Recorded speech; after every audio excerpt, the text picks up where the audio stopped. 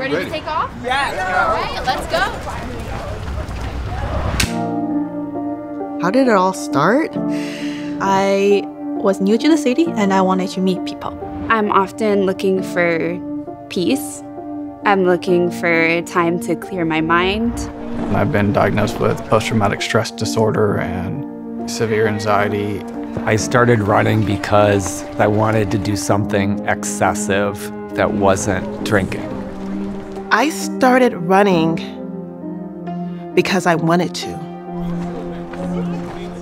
Depression kind of runs in our family, and I just feared for my own mental health. I work as a police officer for a major municipality. Myself and four of my partners were on a call for service, and unfortunately, one of my partners lost her life. I felt pretty isolated and not having family around here. I just was a little lost.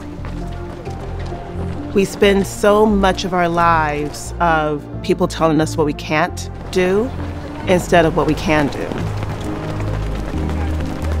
I feel like I can put distance between myself and different responsibilities.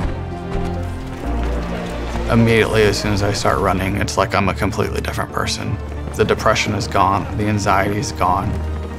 Running has opened a lot of doors that probably would not have opened for me if I didn't start running. All right, everyone, one last hill. Running is definitely a grounding thing for me in sobriety. I now feel like I belong in this community. It's something that you can do, that you have control over.